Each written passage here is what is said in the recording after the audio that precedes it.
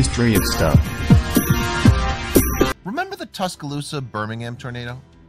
When it struck upon the state of Alabama back in April of 2011, a huge number of families were left homeless and defeated. The strong tornado ended up taking several lives as well as injured so many. Some people managed to stay safe and survive the havoc. The tornado did not differentiate between animals or humans. It took the lives of animals as well and left them devastated equally. Some animals were also lucky enough to live through this horrid incident that caused so much destruction. This dog was, unfortunately, one of the ones to be taken away by the tornado, only to achieve something truly unbelievable. The Tuscaloosa Birmingham tornado set foot on the state of Alabama in the month of April back in the year 2011. The tornado left a mess in the city of Tuscaloosa and Birmingham, where there were signs of destruction and demolition everywhere.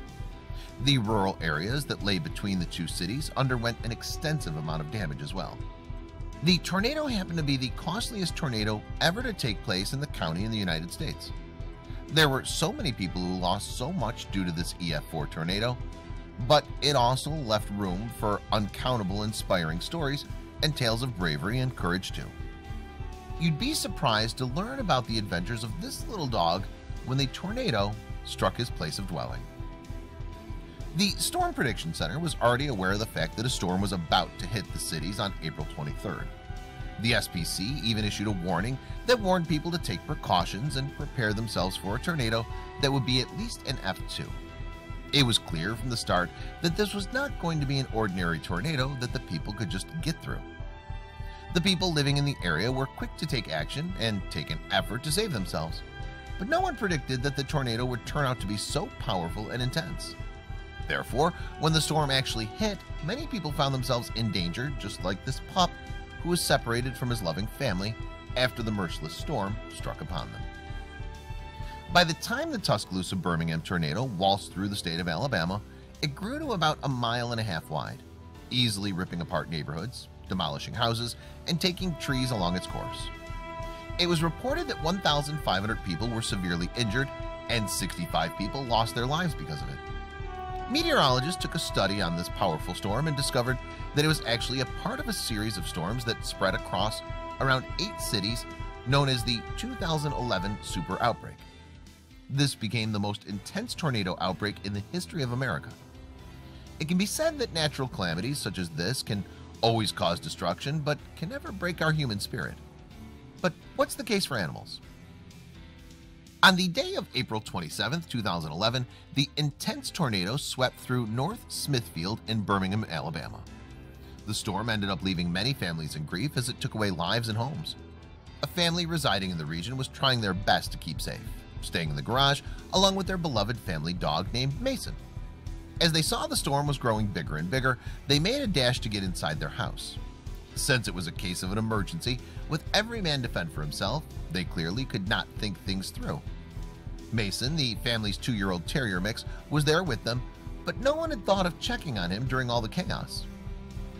As the storm left the area, the family hurried to get into their garage in the hopes of finding their dear dog curled up in the corner somewhere inside.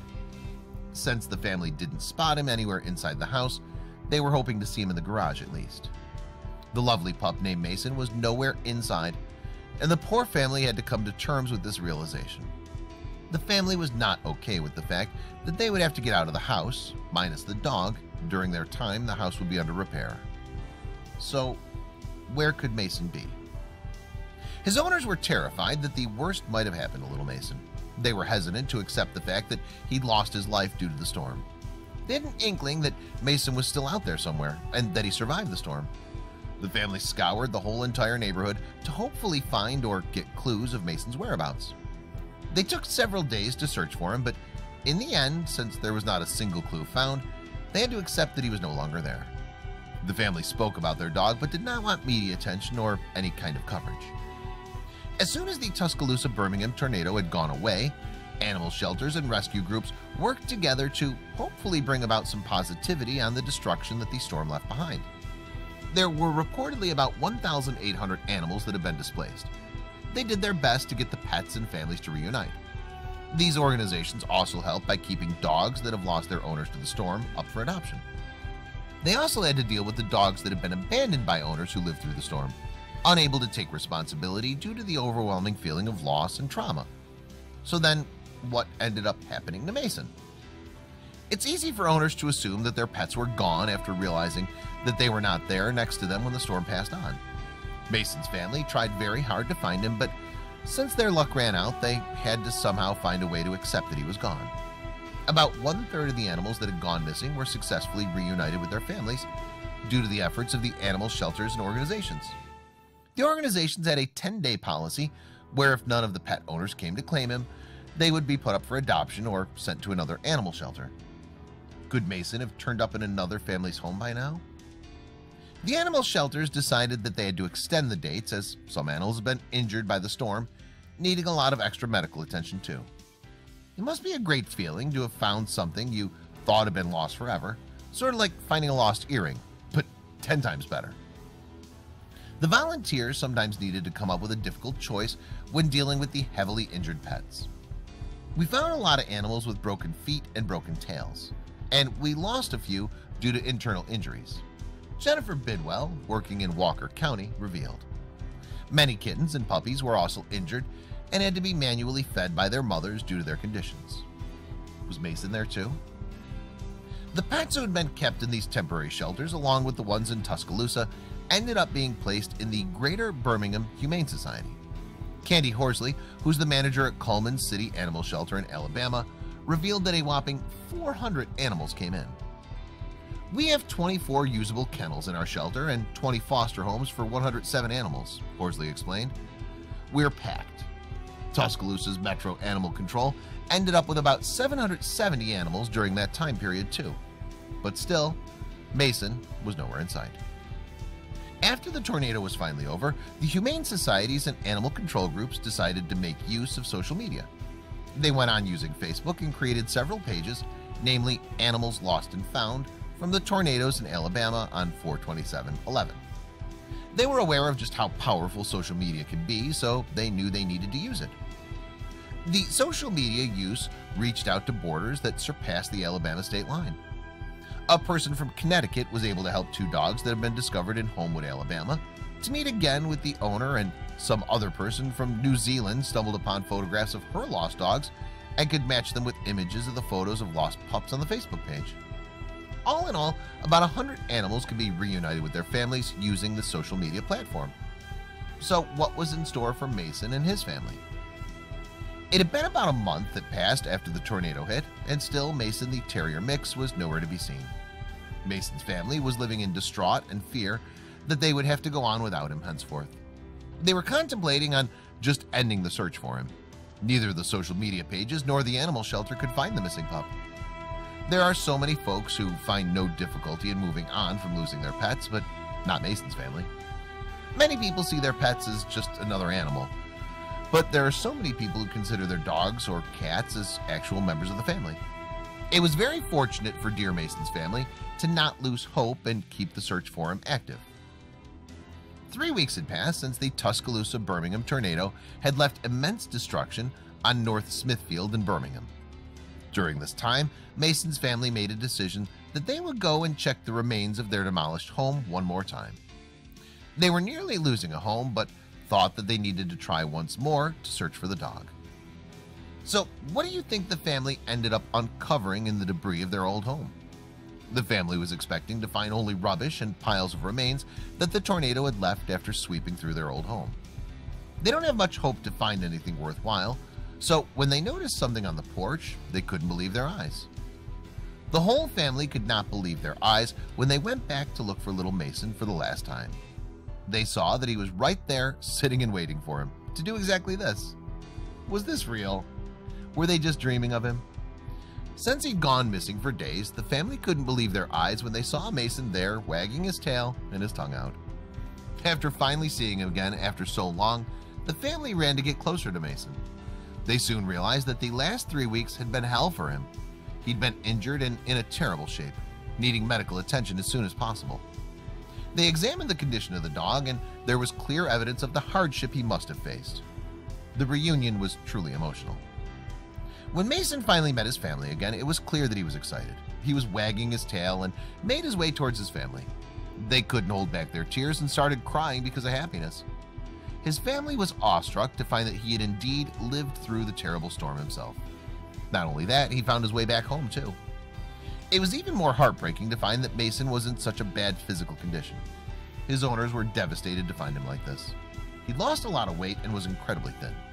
On top of all that his legs were broken. So why was this dog still as happy as ever? They held him dearly and hoped that their hug was enough to make up for some of the ordeals that he lived through so when the family looked back in retrospect they realized the exact timing that poor Mason had gone off the map.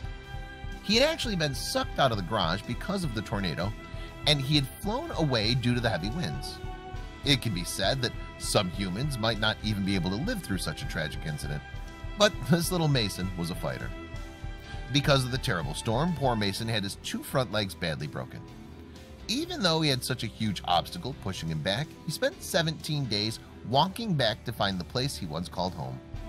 He'd lost a lot of weight and was now 14 pounds or 6.4 kilograms light. He was also dehydrated and his fur was matted. Would he be able to go back to normal? Even though Mason was back in the comfort of his family's care his problems were far from over. Even though he was resilient and fought hard he still needed to get medical help so that he could return to the playful and active family dog he was before the storm occurred the family rushed to get the help he needed and deserved. There was one other problem that the whole family was faced with. It was unfortunate that the storm had left the whole family homeless so they didn't even have enough resources to take better care of the poor helpless dog. The family after trying so hard to locate Mason was not about to let this be a problem. They looked quick and hard for a solution. Mason's family was still homeless with no possession so in the end they had to call up the Birmingham Jefferson County Animal Control Shelter since they didn't even have the means to commute anywhere. Even though deep in their hearts they did not want to spend another day separated from Mason they knew it was the right choice to let the shelter temporarily keep him. Even though Mason's condition called for immediate medical care his family had no way of paying for the expensive medical bill. There were a number of breaks in his front paws and his legs had been fractured Mason had literally crawled back home even though he and his family were unaware at the time. This was the start of something truly wonderful. When the family finally took him to the animal shelter the employees were impressed by Mason. For an animal just to show up on someone's porch after all this was pretty remarkable especially with the condition he's in explains Phil Doster the coordinator of the animal shelter to my Fox Alabama. It was just really sad but really moving too that this dog had made his way home on two broken legs. He was emaciated and his two front legs were literally flopping below the elbows. Doster further states Mason literally had to crawl on his elbows to get back. The little guy had no indication of pain remarkably. He was just happy to be home. His family did not want to surrender him but they were doing what they thought was the best thing for Mason. Doster thought of a plan for Mason and his folks. As Phil Doster was inspecting Mason's condition he ended up calling upon the Vulcan Park Animal Care Clinic to find out whether there was a surgeon who could operate on Mason to save his life. So when they took him there and the people working there were informed of Mason's incredible story they were so inspired by the remarkable tale of effort Mason showed. When the clinic realized how tough and determined Mason was to get back home one of the people working there took several x-rays of Mason immediately. This was not the only thing that took place in the clinic at that time Mason and his amazing strive to live on had reached the ear of someone else who became inspired and deeply touched Dr. William D. Lamb, who's the owner and veterinarian working at the Vulcan Park Animal Care Facility in Birmingham, saw that state that Mason was in and heard about his incredible story. He was so touched that he wanted to operate on Mason free of charge. He was dehydrated, malnourished, about 50% of his normal body weight, stated Lamb. As soon as Dr. Lamb could stabilize Mason, he took in two other orthopedic surgeons to assist him in fixing Mason's broken legs. Mason ended up going through a straining and invasive three and a half hour surgery so that he could get his legs working again two metal plates and a total of 17 pins were placed on the insides of his legs it would have cost a lot of money if it were like any other case but this time Mason's surgery was done for free that wasn't all. Mason was kept at the clinic as he needed to be fed medicated and his bandages needed to be changed for him to fully recover. He needed about five weeks. But amazingly dr. Lamb again decided to do all of this for free. Mason's experience was luckily enough for him to get free treatment at the clinic. Mason after the surgery looked and ate healthier. He looked so much better if all goes well and he heals normally we all expect him to be at 100% in three to four months down the road. And no one will ever know the difference Dr. Lamb said about the dog telling interviews about his weight gain too. Even though Mason had gone through so much and had suffered a lot he didn't become saddened nor did he ever lose his spirit. Then Chuck Eager the manager and veterinarian technician of the clinic who took care of him became closer to the well-behaved dog since his family needed to get a proper residence to have him back Mason had to wait about four months before he was fully recovered. Chuck Eager was already deeply attached to Mason. I've seen dogs who have endured unbelievable hardships but I've never seen one who was that injured yet remained so happy and sweet he confessed. Chuck would often send progress reports about Mason to the family calling them to visit often. They have a little girl and Mason is kind of her dog Eager stated when they see each other they both go crazy. His whole body wiggles when he sees her. She's so happy to see him and so sad when they have to leave. Because of all the overwhelming love and care that he receives from his owners Chuck Eager and Dr. Lamb Mason made a steady recovery. Even Phil Doster who was from the Birmingham Jefferson County Animal Control Shelter gave Mason a few visits. He's doing better than expected. He's doing great. We could not expect anything better Doster explained the prognosis is that he'll have no ill effects whatsoever from the breaks. He's one of the most remarkable stories we've seen. For a dog to go through what he's gone through and be so resilient and happy as he is is pretty awesome. Mason was able to gain about four pounds 1.8 kilograms rather quick and had physical therapy session for his legs during the four-month course of his time at the clinic the bandages and stitches were taken off and now Marcus had on purple casts before he could get back home. He was quite friendly with the other dogs at the clinic and would watch the TV together with them. I got it for him because he flew around in the tornado and came through it like Superdog revealed Phil Dost when asked about his red cape. Mason was about to earn a medal for his courage and bravery. Dr. Lamb was still in awe of Mason's incredible zeal to stay alive I'd have been curled up in the fetal position licking my wounds waiting to die he confessed admiring the dog's bravery. He was absolutely moved by Mason's undefeated spirit. After all of the combined efforts put in by everyone Mason could now join his family back home. The real joy in all this is that Mason is going to be able to return to his original family. It just makes your heart feel good dr. Lamb expressed. We're really excited that the family is going to be able to take him back home he added Mason has been through a hell of a lot of obstacles but in the end he became a survivor. He was then given the memorable nickname Mason the Brave Tornado Dog that was coined by none other than Chuck Eager who started a Facebook page just for Dear Mason. Mason's story touched many and in no time he gained about 7,000 followers and even the media was involved. He'd been on several national news segments and in People magazine for stories that revolved around pets affected by the tornado. Upon hearing the news that Mason had finally made a full recovery and that he was now ready to come home, his owners were overjoyed and tears came rushing down their faces. Even when he went back home, Mason showed an incredible progress in regaining his health. Mason, in no time, went back to being that adorable, playful little pup that the family loved so much. However, his fear of loud noises was something hard for him to overcome. He does have a little issue with loud noises after being sucked out of a garage by something that sounds like a freight train, Dr. Lamb stated. Since Mason's incredible story of survival was indeed commendable, he ended up getting featured in Time Incorporated book called People Amazing Pets. This is a pet magazine run by the people who also work for People magazine. Mason's story was headlined Tougher Than a Tornado that spoke about all the pets that had lived through devastation and loss but still thrived. Phil Doster also revealed how Mason's injuries were way worse than any other animal that was affected. Doster ended up saving several other pets during this time too.